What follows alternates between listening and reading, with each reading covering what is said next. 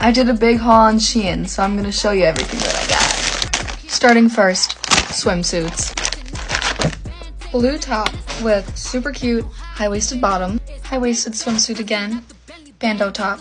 Same style as last time, black ribbed bandeau top with some black ribbed high-waisted bottoms, exactly like the Aerie ones.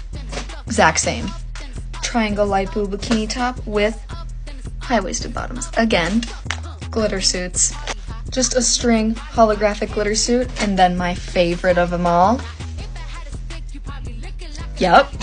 Gotta do the close click, so I'm running out of time.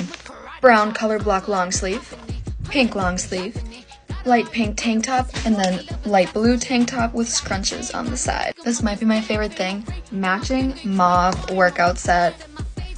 Best quality ever.